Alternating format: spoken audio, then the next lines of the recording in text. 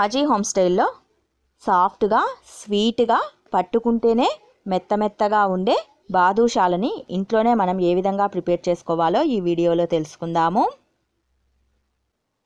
First of all ఒక mixing bowl తీసుకొని అందులో ఒక కప్పుమైన మైదాన్ వేసుకోవాలి. ఇందులో వన్ పించుమైన సాల్ట్ని మూడు పించులమైన బేకింగ్ పౌడర్ని మూడు పించులమైన వంట సోడాని యాడ్ చేసుకోవాలి.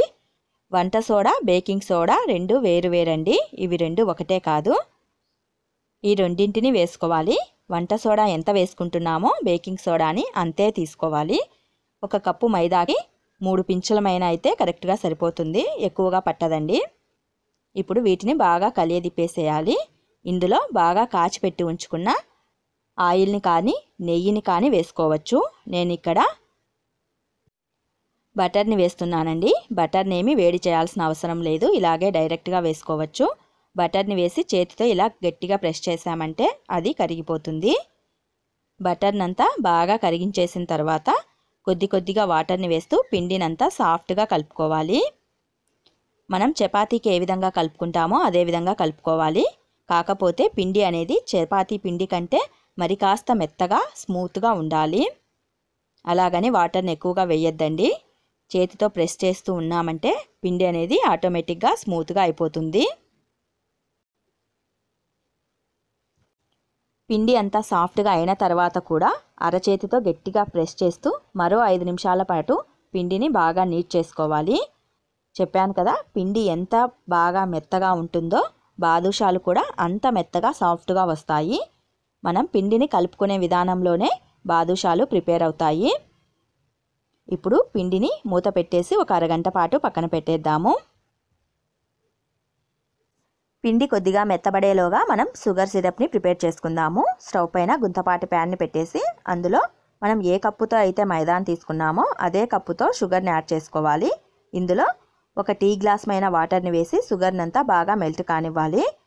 యాక్చువల్లీ మనం ఒక కప్పు మైదాన్ తీసుకున్నాం కదా వన్ అండ్ హాఫ్ కప్పు మైన షుగర్ని యాడ్ చేస్తారు. నాకు షుగర్ క్వాంటిటీ ఎక్కువ అవసరం లేదు. పాకం అనేది మిగిలిపోతుంది. కాబట్టి ఒక కప్పు మాత్రమే యాడ్ చేసుకున్నాను. షుగర్ ఎక్కువగా కావాలనే వారు one and half cup add చేసుకోవచ్చు.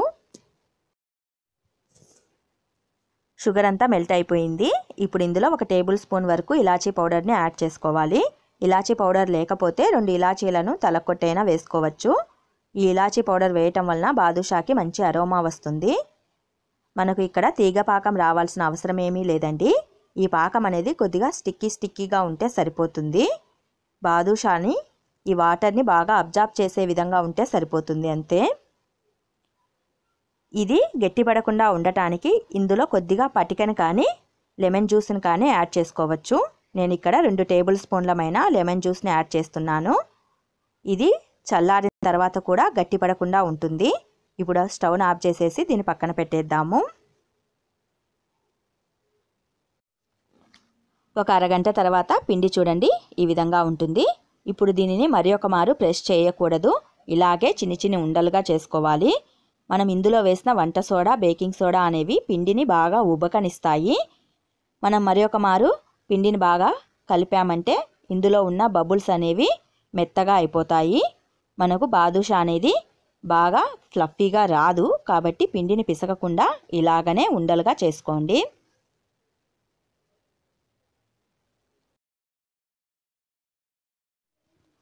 పిండినంతా ఉండలుగా చేసుకున్న తర్వాత ఇక్కడ వీడియోలో చూపిస్తున్న విధంగా రౌండ్గా చేసుకొని ఇలా ప్రెస్ చేయండి. ప్రెస్ చేసి మధ్యలో ఒక హోల్ లాగా ఇలా డిప్ చేయండి. బటన్ వేలుతో కానీ మైడి వేలుతో కానీ. ఇలా చేయటం వలన బాదుషా అనేది ఒక షేప్కి వస్తుంది. హోల్ని పెద్దదిగానే చేయండి. ఆయిల్లో వేసినప్పుడు ఈ హోల్ అనేది బూడిపోతుంది కాబట్టి కొద్దిగా పెద్దదిగానే చేయాలి. బాదుషాలన్నింటినీ ఇలా ప్రిపేర్ చేసుకొని పెట్టుకోవాలి. నేను మీడియం సైజుగా ఉండేలాగా బాదుషాలని చేసుకున్నానండి. మీరు కాస్త పెద్దవి కావాలంటే చేసుకోవచ్చు. స్టవ్ పైన ప్యాన్ పెట్టేసి బాదుషాలు వేయించుకోవడానికి సరిపడా ఆయిల్ని వేసుకొని ఆయిల్ని కొద్దిసేపు ప్రీహీట్ కానివ్వాలి.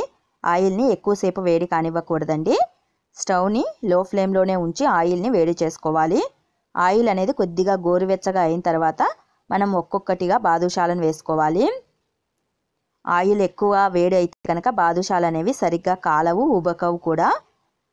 లో ఫ్లేమ్లోనే వీటిని అటు ఇటు తిప్పుతూ దోరగా డీప్ ఫ్రై చేసుకోవాలి. స్టవ్ని లో ఫ్లేమ్లో ఉంచే వీటిని డీప్ ఫ్రై చేసుకోవాలి. అప్పుడే బాదుషాలు అనేవి మంచి ఫ్లఫీగా ఉబుకుతాయి. హై ఫ్లేమ్లో ఉంచితే పైన బ్రౌన్ కలర్లోకి వచ్చేస్తాయి కానీ లోపల మాత్రం పిండి పిండి అలాగానే ఉంటాయి. కాబట్టి స్టవ్ని లో ఫ్లేమ్లోనే ఉంచి ఆయిల్ని కొద్దిసేపు మాత్రమే వేడి కానిస్తూ వీటిని డీప్ ఫ్రై చేసుకోవాలి. కాస్త టైం పడుతుంది. అయితే ఓపికగా వీటిని డీప్ ఫ్రై చేసుకోవాలి. కొద్దిసేపటి తర్వాత చూడండి ఇవి మంచి బ్రౌన్ కలర్కి వచ్చేసాయి.